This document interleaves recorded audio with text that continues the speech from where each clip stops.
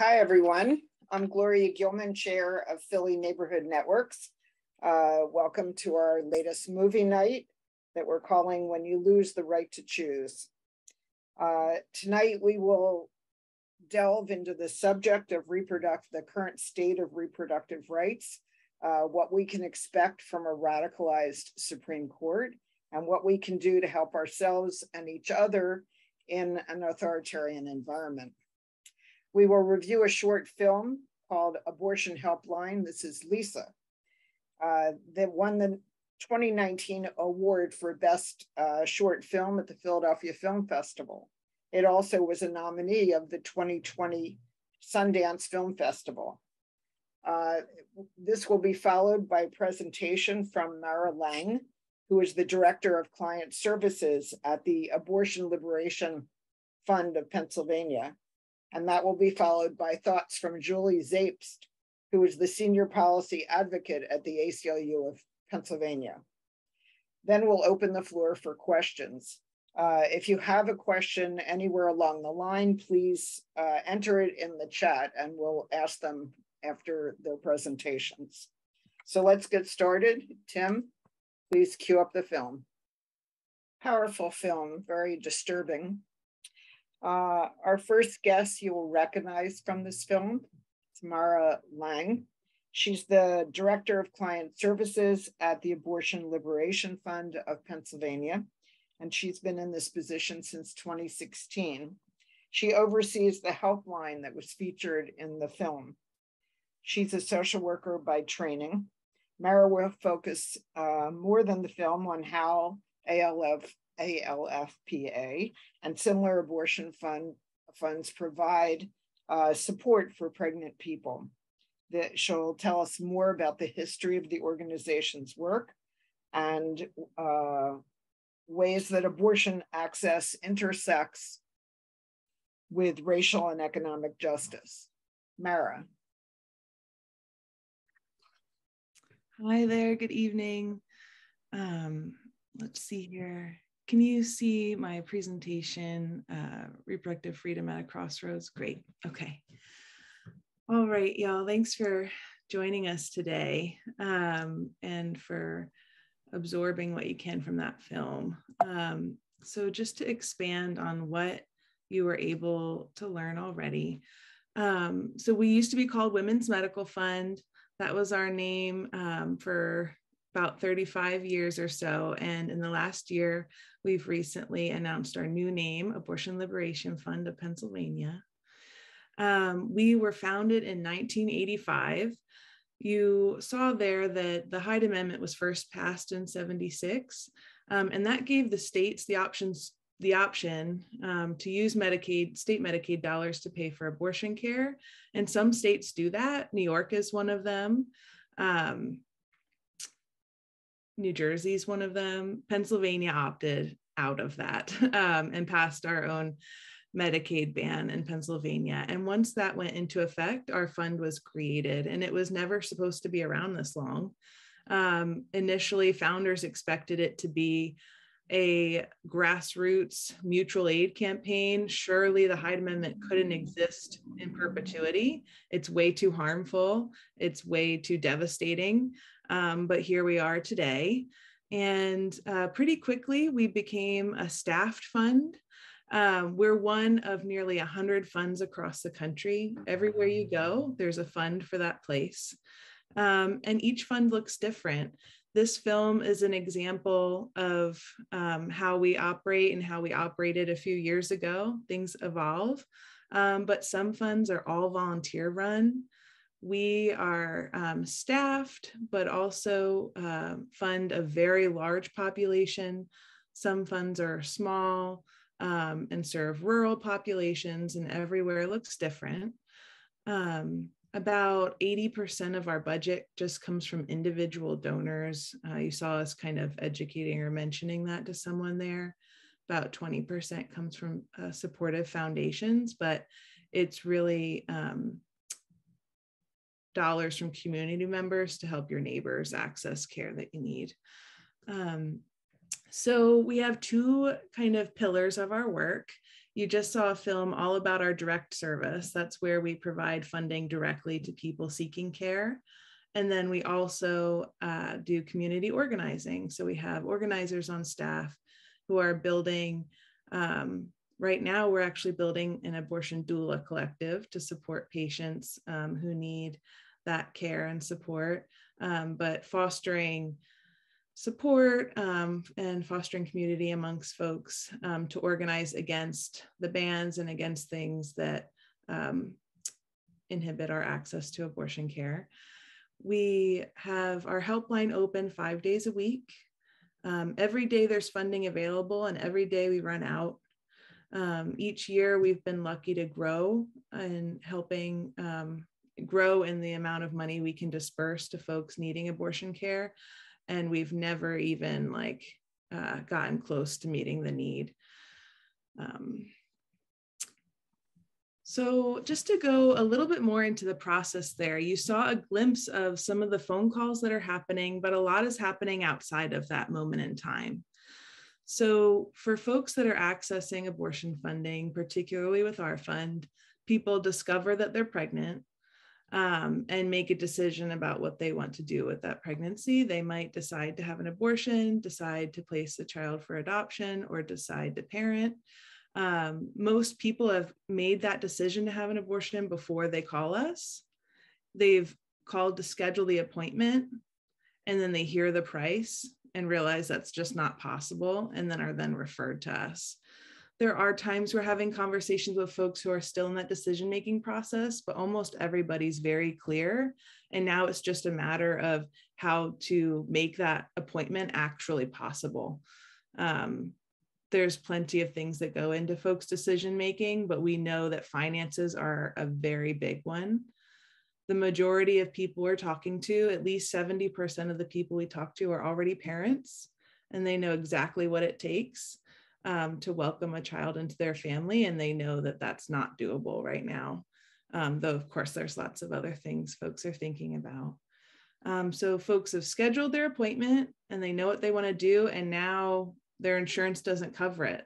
Even though Medicaid was designed to support people um, with low income, it's because of the Hyde Amendment that it does exactly the opposite once you're pregnant. Um, so folks will call us for funding um, it's a conversation like you saw. Um, people are having to make really difficult decisions about how much money they can put towards their appointment themselves. We have never been able to fund um, the whole amount that someone needs. So people are still scraping by in order to get access to their appointment. And in that way, we're able to serve uh, more folks um, since COVID, the amount of money that's needed per person is drastically higher. People have far less to work with than they had before the pandemic.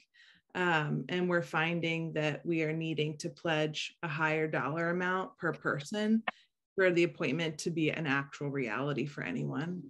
Um, so yeah, once uh, someone's spoken with us about funding, they have their appointment within days. Um, so it's pretty simple in that way, but also um, a pretty uh, powerful process and a lot to navigate. Amongst this timeline, things you don't see captured here are taking time off from work, um, finding childcare, finding transportation to your appointment, um, and all the other daily things that are made only harder by poverty. Um, so, something else I wanted to just kind of highlight or sit within the context of the film that you saw today um, is remembering some things that are constants.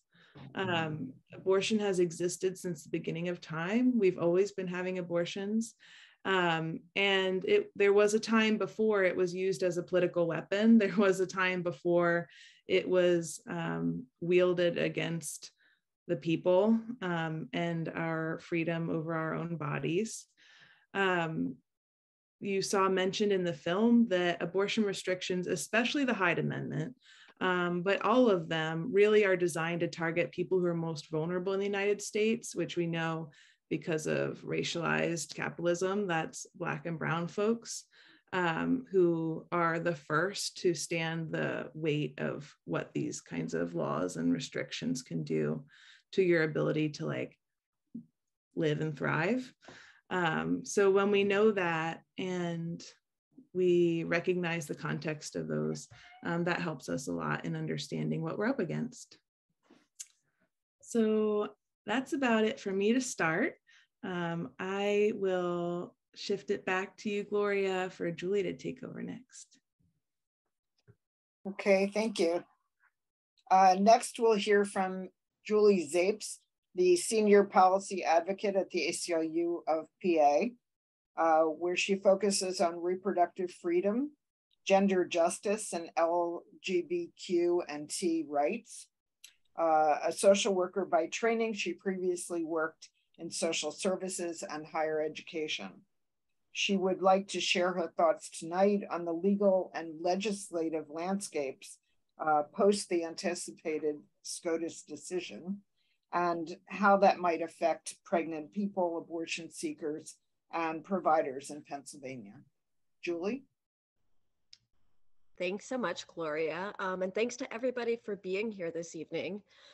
Um, Mara, I really appreciated the look you gave us at what it looks like to seek abortion care right now as things stand in Pennsylvania.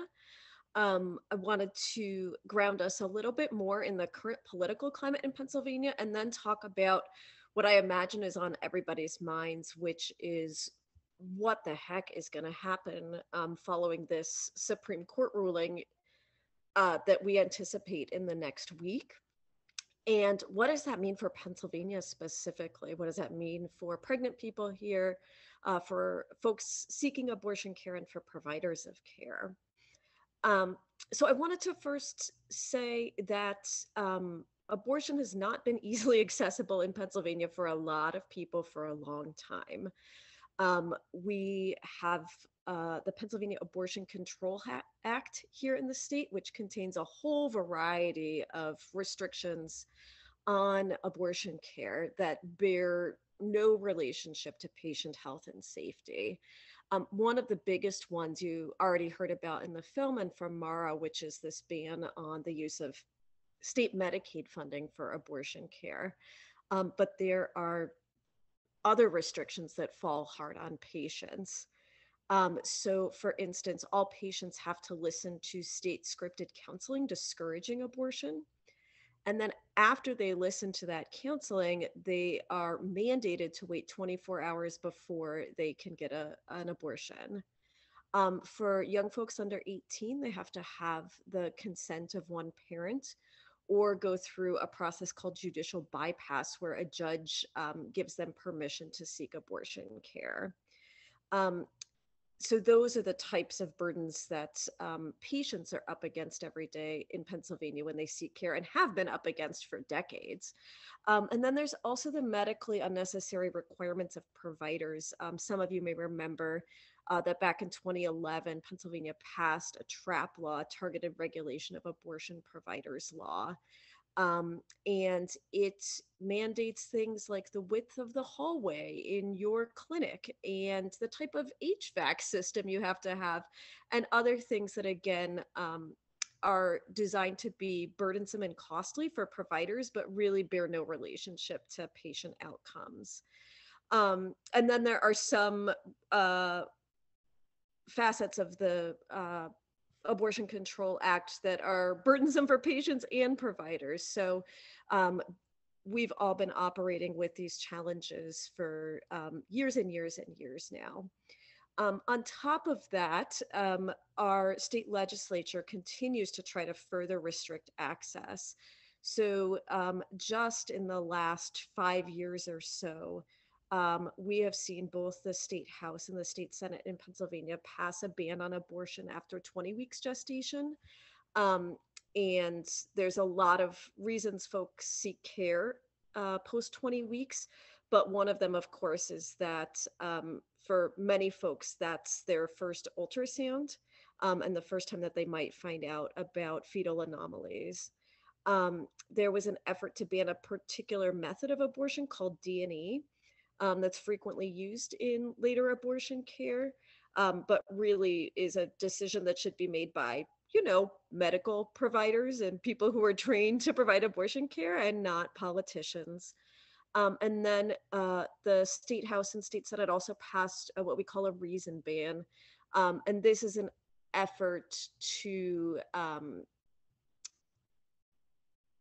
say what are good abortions and what are bad abortions right? Um, to say well there's there's some reasons that are okay to seek an abortion but there are some reasons that are not okay.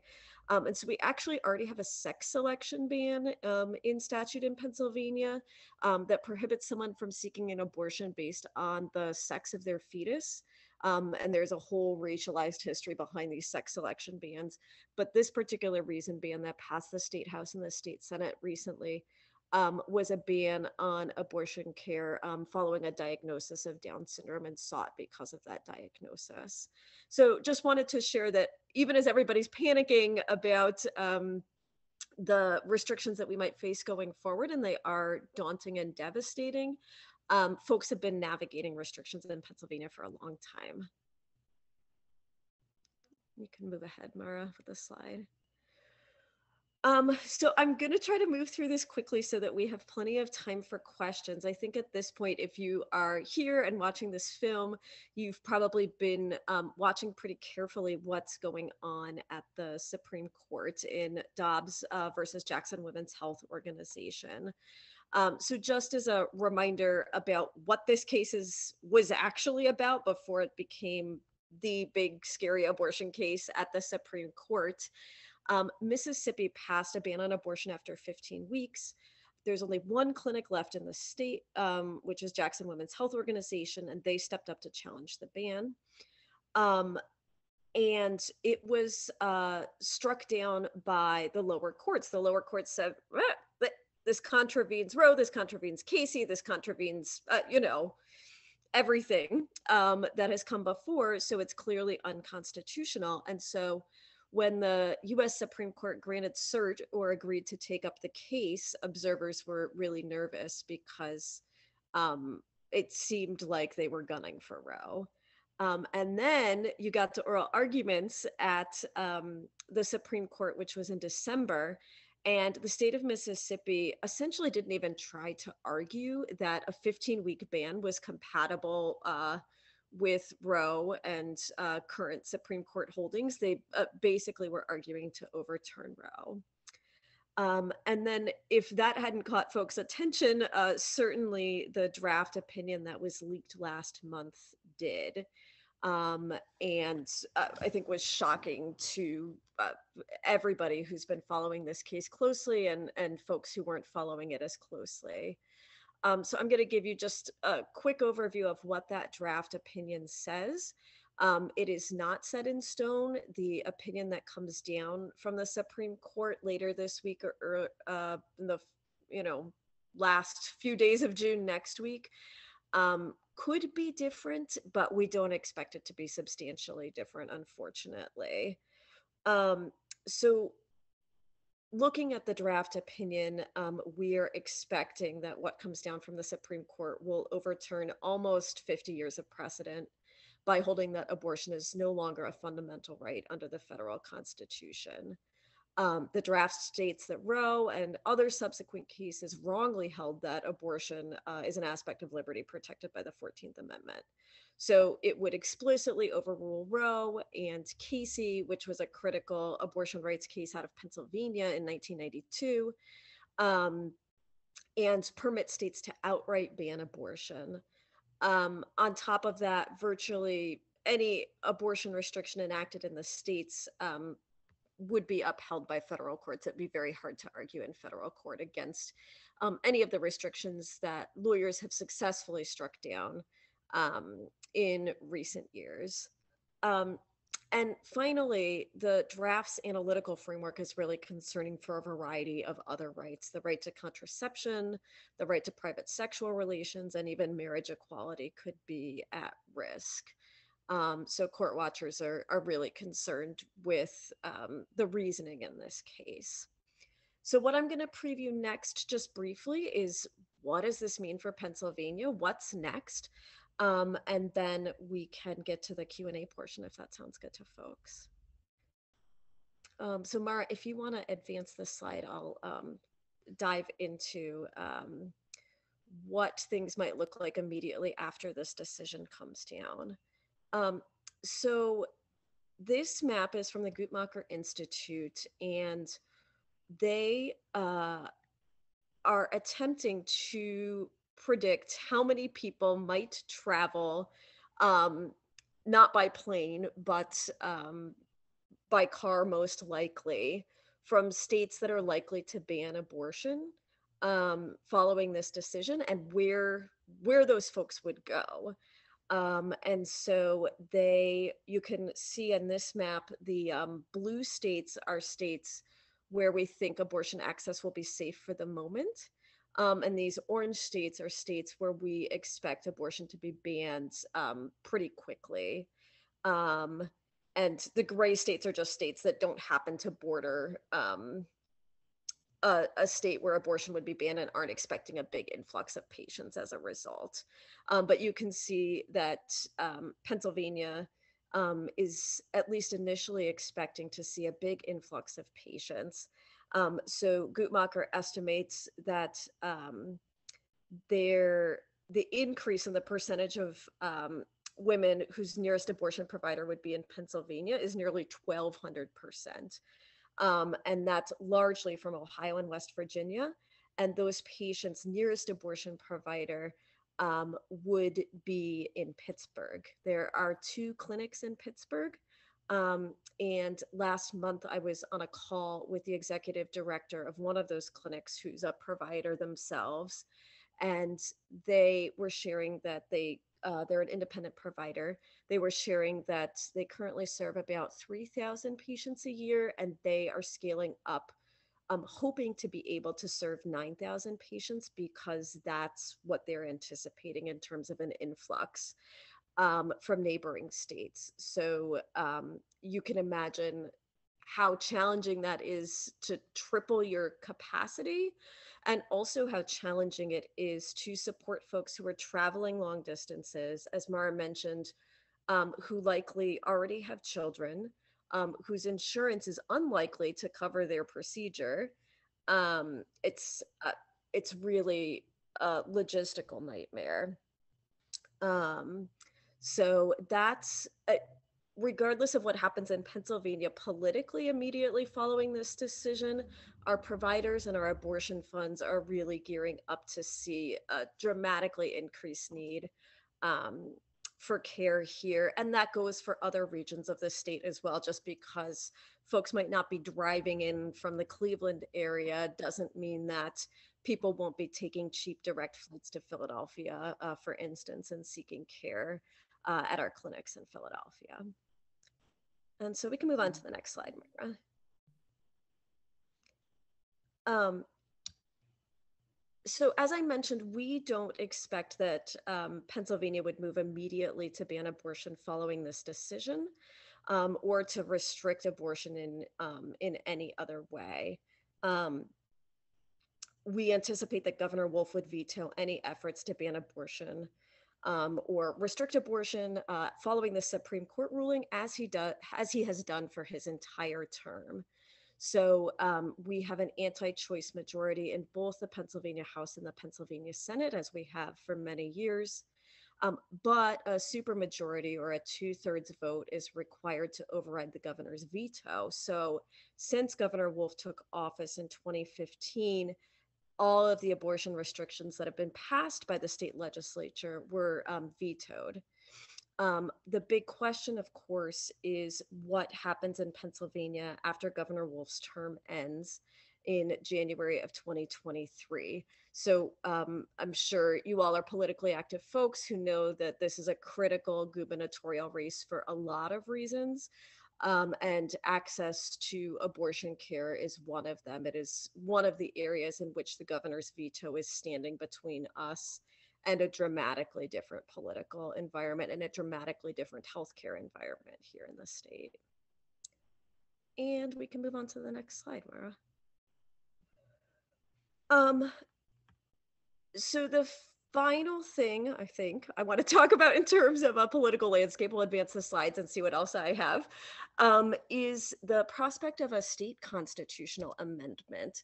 So um, you heard me say that with the Supreme Court ruling that's coming down the pike, that there may no longer be federal constitutional protections for abortion care. So, what our lawyers and lawyers in other organizations around the country are going to be doing is looking to state constitutional protections, right? So, if you can't challenge an abortion ban or restriction successfully in federal court anymore, you would want to go to the state courts and argue that um, it contravened the state constitution. Um, unfortunately, um, anti choice politicians are uh, ahead of us on this and are already thinking about how they can block these challenges. And so we uh, this year in both the state house and the state senate, um, there was a state constitutional amendment introduced, um, and it states in part. The policy of Pennsylvania is to protect the life of every unborn child from conception to birth. Nothing in this Constitution grants or secures any right relating to abortion or the public funding thereof. So that last part is hitting on the Medicaid piece that we talked about. Um, the way that state constitutional amendments work in Pennsylvania, if you're not familiar, I'm afraid you're about to be. Um, Republicans in the state legislature have been frustrated that uh, a Democratic governor has been vetoing a lot of their uh, priority bills uh, for the last almost eight years at this point, and legislating by constitutional amendment allows them to do an end run around the governor's veto. Um, because the governor has no role in the process of approving a state constitutional amendment. Um, so this is very smart and strategic and scary. Um, what happens is um, that this uh, bill proposing a state constitutional amendment must pass both the state house and the state senate in two consecutive sessions uh, with identical language. And if that happens then um, it would go on the ballot before voters. It would be posed as a, a ballot question to voters.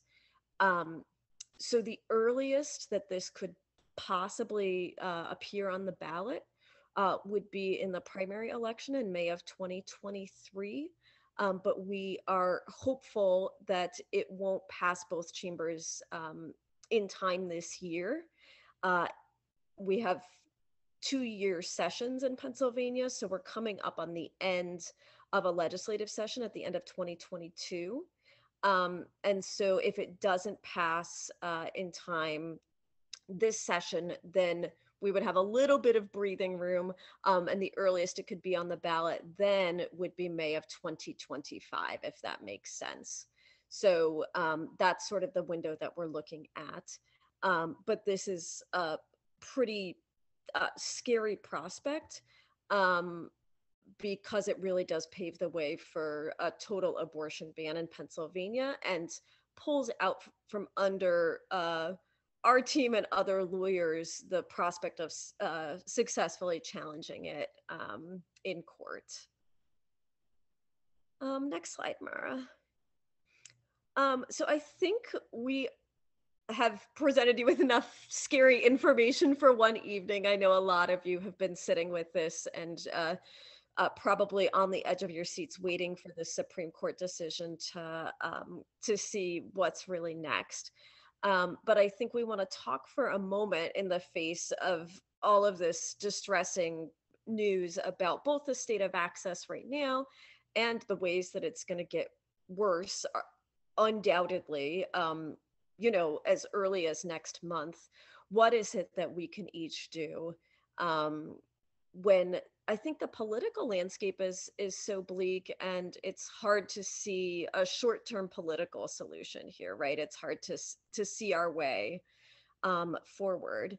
And so, Mara, I might ask you to talk about some of the um, needs for practical support. I think, um, you know, being at a an organization that works in the courts and in the state legislature, I am increasingly saying thank you so much for your support. If you want to make abortion access a reality for folks like next month and next year, here's who you need to talk to. And I point to Abortion Liberation Fund. So I'll let Mara take it away. Yeah, that's exactly right. Um, something that you can do right now, and also when all your friends are, and all the people in your lives are reacting to no matter how what comes out of um, the Supreme Court, we know all the options are devastating.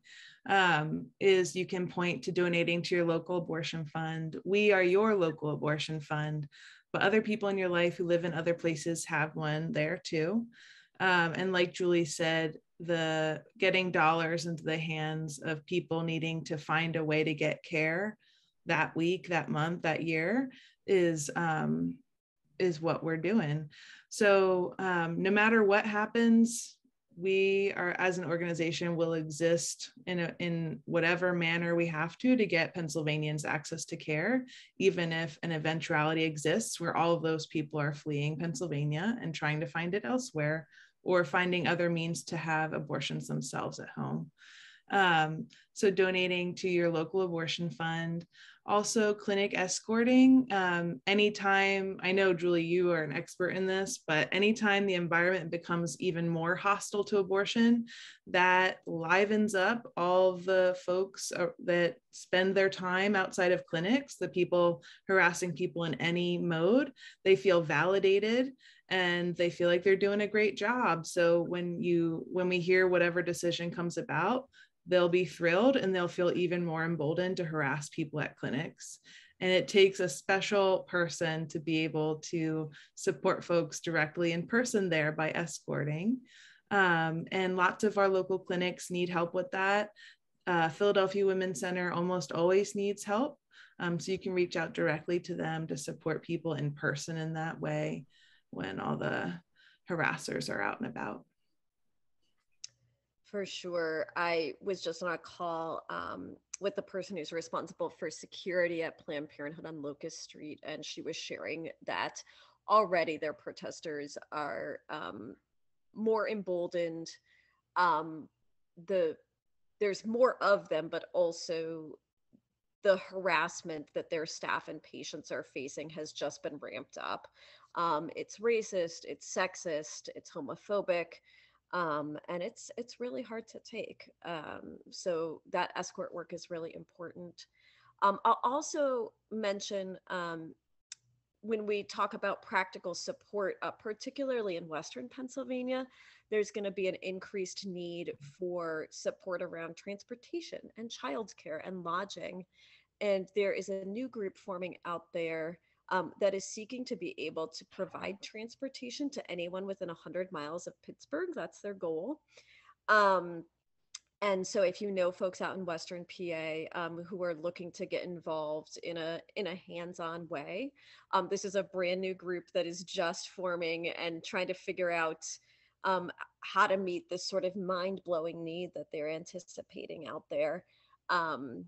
And would would love your support. I'll also share I was on a call recently. Um, it was actually a legislative briefing for friendly lawmakers, and I was um, uh, facilitating a panel with providers. And one of the the executive director of the independent clinic in Pittsburgh shared that they drove a patient to Cleveland the previous weekend after the patient's procedure because the patient had no other transportation.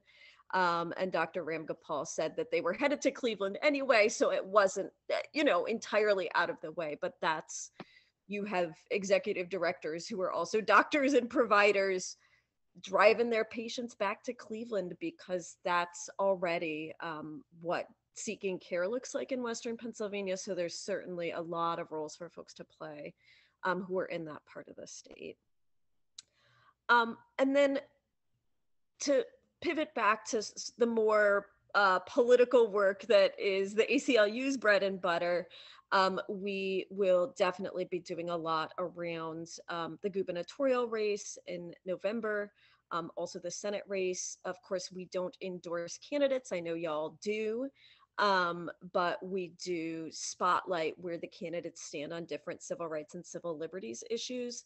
Um, and we do a lot of work to protect access to voting for folks across the Commonwealth. So that will be um, uh, sort of the next big thing after this Supreme Court decision comes down. Um, we'll have a moment to adapt to serving patients from out of state and figuring out what that looks like.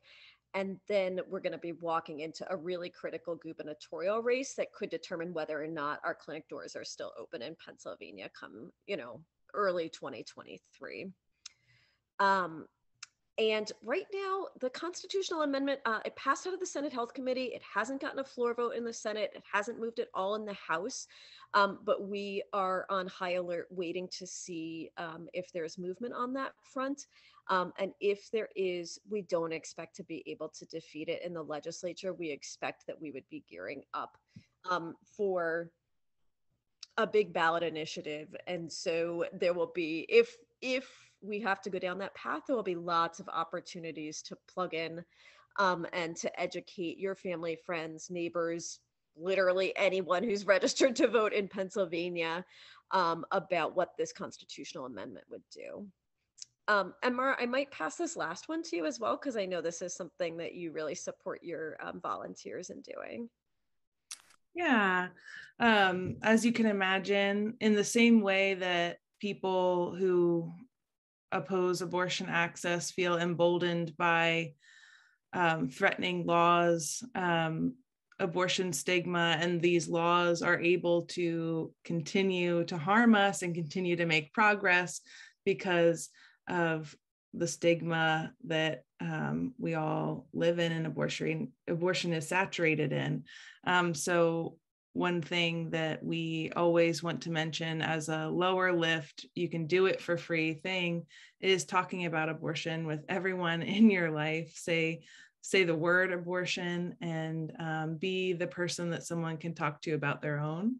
Um, and just try, we're just trying to make some cultural shifts there. Um, that's important to us. And I think the next slide invites your questions. Yes. Uh, okay, I'd like to uh, remind people that if you have questions to please put them in the chat. Uh, Mara, one person did put in uh, a request that you put in the chat how to make donations to your organization. So please put that in there. And you might say it out loud because the chat uh, won't be in the video uh, that go that gets distributed after this event. Yes. Um, so we are just abortionfundpa.org slash donate. Um, and we so appreciate that support. Um, we're gearing up as, as you heard for a lot. Okay, thank you. Uh, Peggy, you have a question? You have to unmute yourself.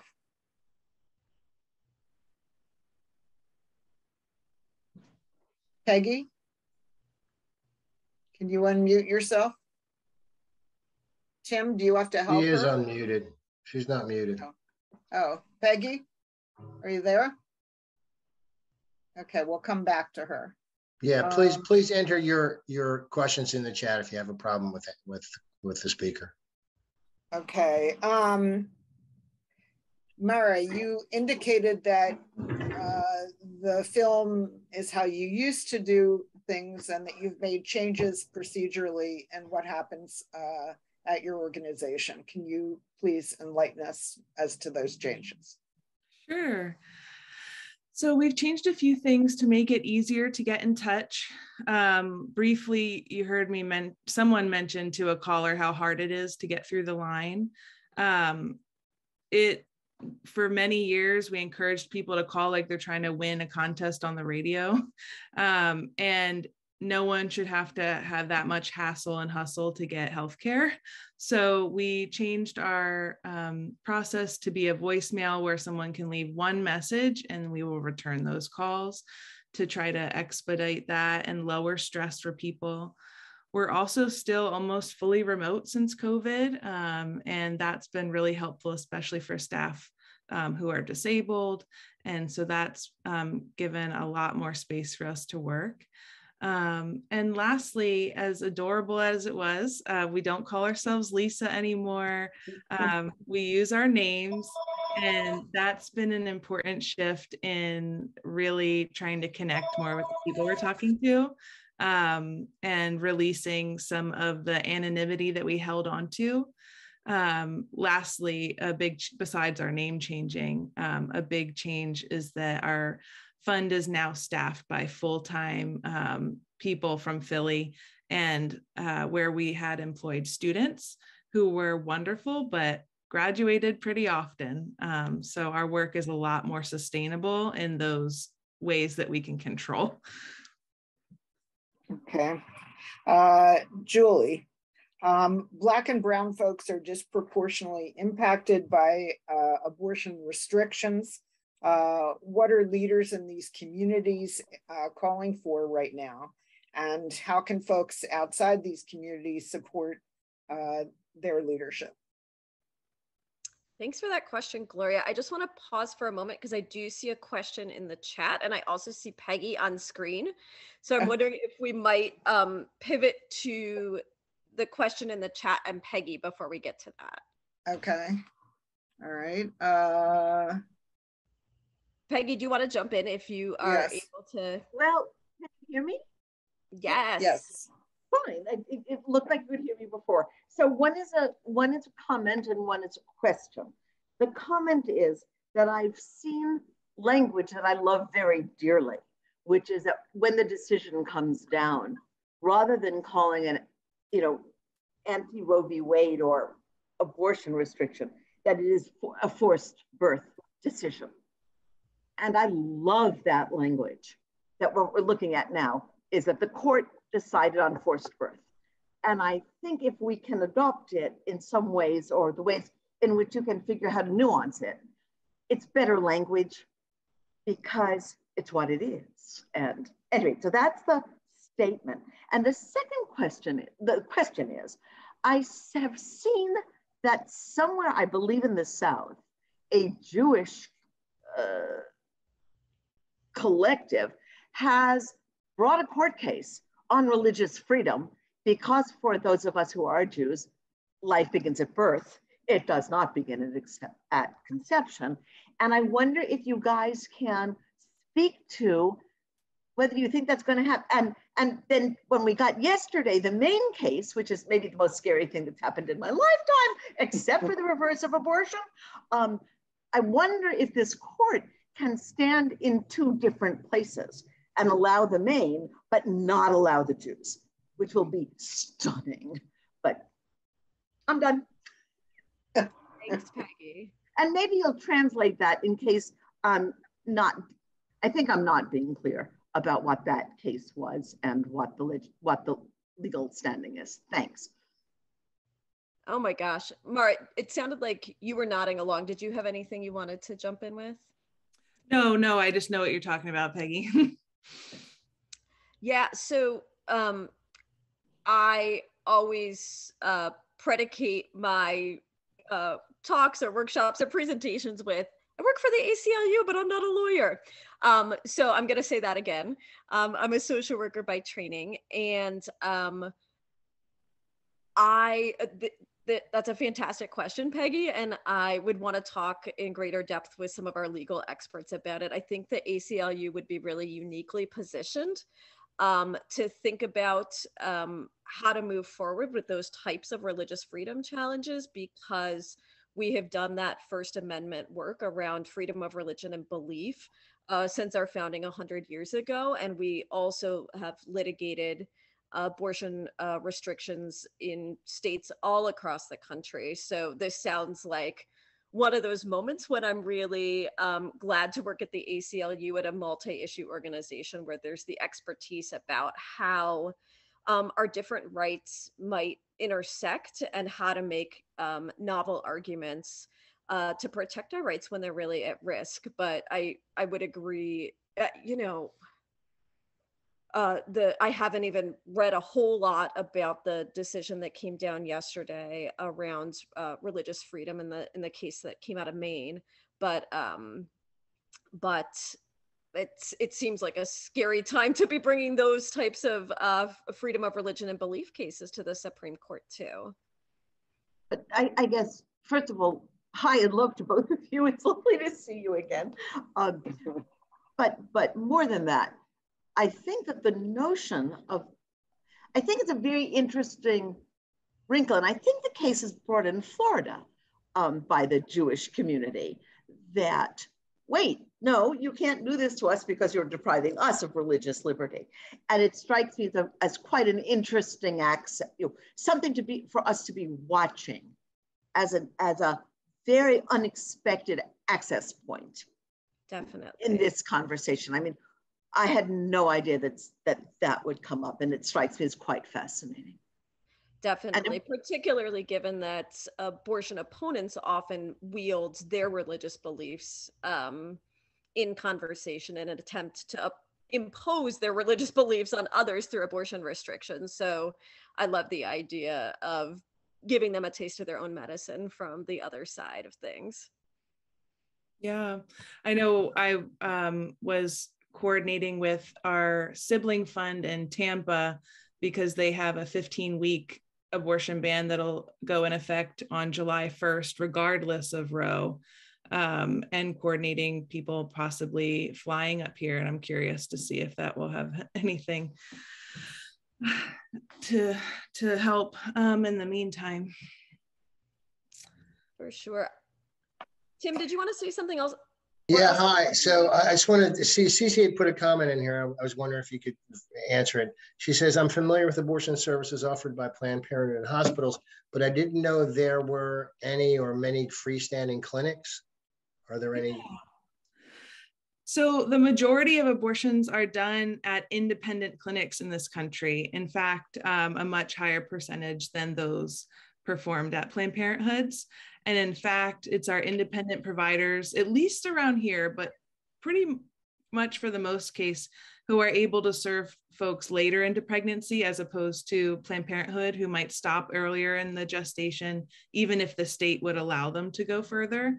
And so, as we're thinking about people del- having their care delayed, um, and we know that anytime you restrict abortion, you're just pushing the abortion further out of reach. And often that just means further in time if you can get one at all.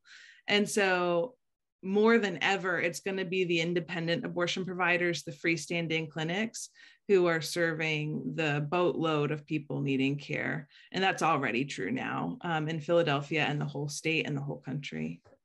And just right. to name them, if you want to learn more about them, the women's centers um, are have clinics in Philadelphia, in Delaware County, and in Cherry Hill, um, as well as Connecticut and Georgia. Um, but three very close uh, to here. And then um, you have the Allentown Women's Center, um, which is actually located in Bethlehem and not only provides abortion care, but also provides uh, transgender health care, uh, things like hormone replacement therapy for trans folks. Um, and then you have Allegheny Reproductive Health Care in Pittsburgh, which is the clinic I named earlier as scaling up to serve triple the number of patients, and whose executive director was driving a patient home to Cleveland last weekend. So um, I don't know if I'm missing any, Mara, but those are the big three in, independent providers that I think of in the state. So mm-hmm. if I give, excuse me, um, if I give money to you all, um, to ALF, then does it go only to independent um, clinics or does it also go to Planned Parenthood? Um, my, I know about abortions in hospitals, the the really late ones, because my daughter's a nurse anesthetist and she's one of the few on the staff who can deal with with helping these women so late in their pregnancies when they've just discovered something really, really awful about the baby, um, like you know, almost no, only half a heart or whatever, half a brain. Um, so, yeah. So if I give you all money, uh, whom exactly do you fund? Yeah, we work with every abortion provider in the area that serves low income people. So if we don't fund them, it's probably because they only take insurance for people or for some reason low income people aren't going there. And so when you picture where the money is going it's let it's more so that you're helping to cover the bill for someone wherever they choose to go and it's about split in Philly of whether the person's going to go to a Planned Parenthood or that we talk to a Planned Parenthood somewhere in our half of the state, and then um, the independent providers. So it depends where they uh, have their appointment, and it's kind of like reaching the paying the tab for them before they get there. So does the do your fund does your does your funding go directly to the provider or to the patient? Directly to the provider. So that way, as the call ends, the person doesn't have to do anything else. They just show up and their appointment's cheaper. Okay, great. Thank you. Yeah. And thank you for this education. Uh, by the way, I just wanted to throw out there, I'm, I'm turning 70 soon and I live at a retirement community and we do a lot of rallies and demonstrations. It's a really liberal retirement community. And I just bought a Handmaid's Tale outfit. Um, to wear the, the whole red outfit and the bonnet to wear to the demonstrations. There you Well, go. Cece, we're giving you a call because we're going to use you at some, some event. Ah, yeah, I'll, I'll be. Okay. That's going to come in handy. Um, Jean-Claire mentioned, uh, mentioned abortion pills. We haven't spoken about that. Uh, probably you both have something to say about this. How will the availability of telemedicine and medication abortion affect access for folks uh, around the country and particularly in Pennsylvania? Do you want to take that one, Julie, to start? Sure, I can start there. So, um, right now, about half of per- abortions um, that take place in the United States um, happen via medication abortion. It's a combination of two pills um, that allow someone to end a pregnancy um, really in the comfort of their own home, right? Um, and so, this is a big change from the pre Roe days. I think uh, a lot of folks are looking at this moment and going, "Oh my gosh, we're, it, we're, it's like we're going to be transported back to 1970." Um, but in fact, the availability of medication abortion, um, the prevalence of telehealth, and then also, I was saying to folks uh, before everybody got on the call, the existence of the internet makes it a very different landscape for folks um, who may live in states where abortion will be criminalized and who are seeking care. Um, so that said, Those folks will be in states where abortion is illegal, but not necessarily unavailable or inaccessible, right? Um, I, we're anticipating a lot of movement in state legislatures to try to ban abortion by telemedicine. Some of that has already happened. Um, to try to ban the mailing of um, abortion pills to in-state addresses uh, to try to ban transporting um, this medication across state lines. There's a whole variety of ways in which I think this is going to be tied up in litigation going forward. And uh, we know from the pre Roe days that folks are uh, resolute when they make a decision to have an abortion. We know folks are creative. We know folks are connected. Um, and that, you know, there's going to be um, a community that comes together to provide this care, whether folks are choosing um, to have an in clinic procedure or whether folks are opting for medication abortion. So uh, that doesn't give you a definitive answer. I think we're kind of waiting to see how it plays out. Um, but it it does it will entail a legal risk uh, to folks who are involved, and I think that's one of the things that we are gearing up for and trying to think about um, from a uh, you know sort of in the political space is how do we protect abortion seekers from this type of criminalization um, which has been happening across the country already. We had a case in pennsylvania of a mom whose 16 year old got pregnant and she ordered uh, abortion pills online had them shipped to her gave them to her daughter um, and then her daughter started bleeding, and she was concerned that maybe this was atypical. She took her daughter to the emergency room. This was about 75 miles outside of Harrisburg, which is why she opted to go this route. She wasn't able to get her daughter to a clinic. Um, and they wound up calling the police, calling Child Protective Services. Um, and she served an, the mom served an 18 month sentence. Um, even though it turned out her daughter was totally fine and the bleeding she was experiencing was a normal part of the process. Um, and this was, I want to say this was in 2013 or 2014. It's been a while ago. Um, but I think we're going to see increased surveillance of pregnant people, increased surveillance of pregnancy outcomes that are anything other than the birth of a healthy full term baby, um, and increased surveillance of abortion seekers. So um, it's both very promising. It's a very promising avenue for folks to be able to um, really self manage abortion at home. And we don't want to stigmatize that. We don't want to um, imply that it's unsafe because it's actually pretty safe um, at this point if you are confident that you got the correct medication and you follow the protocols. Um, however, it is criminalized. So the the concern is not really about the person's health um, so much as it is about um, the criminal legal system stepping in um, to prosecute them for seeking to end a pregnancy. And I don't know if that answered the question at all. That was uh, a lot of maybe about what direction this could go. Um, and I I think it's it's gonna be one of the more interesting things to follow as we move forward to see to what extent we can um, we can make this a, an option for folks. Mara, maybe maybe you can address what, if any, restrictions already exist uh, in Pennsylvania on uh, obtaining this type of abortion. Well, all the same ones. Um, I, if you're obtaining a medication abortion through a clinic legally, it's all of the same restrictions and all of the same hurdles, um, unless you're able to use telemedicine instead of getting all the way to a clinic. Um, but that's not so vastly available, anyways. So you're still making the trip out, anyways. Um, yeah, I think I feel like it covered you covered it, Julie. The FDA did just, uh, following uh, sustained advocacy from the ACLU and probably others, lift a requirement that the medication abortion be obtained in person from a physician.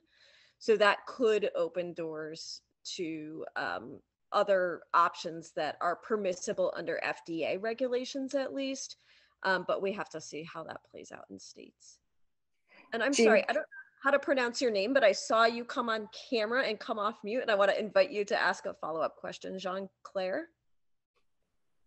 Hi, yes, Jean Claire. Um, Claire. Yes, thank you for answering my question. Um, my follow up question was the woman that um, uh, who assisted her daughter in in gaining an abortion. Under what current law is what she did illegal? How how is she charged? That's a great question. And I would have to look back at the case. I don't remember off the top of my head. Um, I think it might have been substance or dr- dr- like moving the drugs around or something. Yeah. Um, the, the pill she ordered uh, came from out of the country. So I think, um, uh, you know, they probably were not legally obtained, although she, I'm guessing she ordered them off of Amazon or something like that. But I would have to look back at the case to tell you what um, what charges she pled to. I would guess there was a child endangerment charge there, whether, um, but I'm not. I'm not 100 percent sure. Um, yeah, I'm. I'm um, absorbing everything I heard tonight, and I'm really I was angry before, so now I'm just additionally angry, and I'm, um, you know, I'm th- thinking about how do we, um, knowing that it's not an if, it's a when. How do we? Um, who are the the organizing bodies that are going to work to take our reproductive rights in our own hands, regardless of uh, criminalization, assuming criminalization, including Pennsylvania, and and what um, what partnership relationships might we have with other countries to help uh, help um, American women with the um, reproductive uh, access that they need. Jean Claire, I'm going to take, I'm going to, I'm going to fight back on that. I, I fought 50 years ago for Roe and, um, and I'm not saying it's going to be a win. It might be an if, but we won 50 years ago. We're going to win again. We're going to, we're to elect Democrats and liberal minded people. And it's, it's going to, it's to be, even if they take it away now, damn it, we're going to fight again and win. Uh, I, I'm an optimist, but we have a, the Supreme Court that we have. We, we have don't have only, the decision have, yet. Excuse me. We have only the governor in Pennsylvania, Yep. um, and and we have uh, we have we are years, if not many other obstacles away from uh, flipping the Pennsylvania legislator. And there are people on this call that know um, the ins and outs much better than I do. So um, so in parallel to these these uh, laws that are being uh, perpetrated on us, um, we we have to take re reproductive access into our own hands and draw from previous generations, including the Jane Collective, on how to conduct abortions with or without legal rights. I think it's really a both and situation, right? I think you're both correct that the day after the Supreme Court decision comes down, people in this country are going to need abortion care. And that may mean taking this into their own hands. That may mean getting really creative about how we as a community come together and provide care. And we don't want to be doing this forever, right? Like Mara said, when Women's Medical Fund was founded in 1985, they were envisioning a future in which they wouldn't be necessary. And unfortunately, we haven't gotten there yet, but I think we have to hold that vision, as you're saying, Cece, um, and think about how do we um, create the political climate that we want so that we don't have to keep um, uh, taking things into our own hands, uh, figuring out these workarounds, um, stepping in because the state is failing to do its job. Um, so I, Jean Claire, I will have to look. I have um, somewhere in my email a list of resources uh, around self-managed abortion and also um, legal defense for folks who might be um, assisting folks with abortion care or um, self-managing their own abortions. And so uh, I can try to send that around after the call.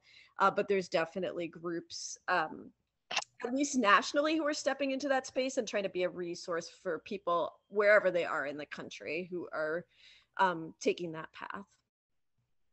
Thank you. Thank you. Appreciate that. I'm wondering if you have any uh, suggestions for us of uh, coalitions forming to try and counter uh, the anticipated actions, um, either statewide or locally, that people should be aware of. That's a great question. Um, here's what I can share with you.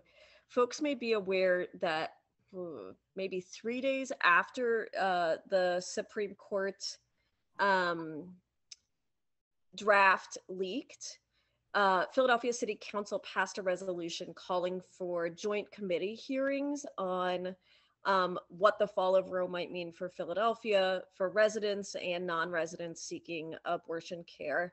And so, right now, there's a small group of um, advocates and healthcare providers um, who are coming together to think about what issues we want to lift up at these hearings and where um, city council might be able to provide additional support and protection to pregnant people, to abortion seekers, and to providers. Um, and so that's the very beginning stages. We've had one meeting so far, but we'll definitely be um, seeking um, to expand uh, the scope of involvement and engage folks um, in pushing uh, city council to take whatever actions they're able to take locally. Um, so Is- that's here on this side of the state. And then I'll say uh, I'm also involved in a coalition space that is a little enormous and unwieldy in Western Pennsylvania that's really about coordinating care out there by and large. Um, but I, I suspect that's not applicable to folks on this call. Okay, uh, does anyone else have any topics they want our speakers to address? I wanted to ask you a question, Julie. Um, Yeah. the when when will will we know if we got past the safe point with the constitutional amendment to maybe last out until 2025? Uh, I believe the date is August 10th. And I was trying not to get too deep in the weeds, um, but the bill has to pass both um, the state house and the state senate 90 days or more before the next election. And so I think that August 10th is 90 days out from November 8th. And of course, the state legislature usually recesses after they pass the budget at the end of June until September.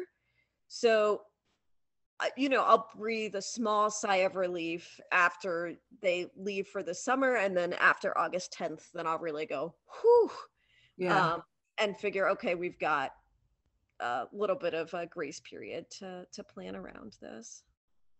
Gotcha.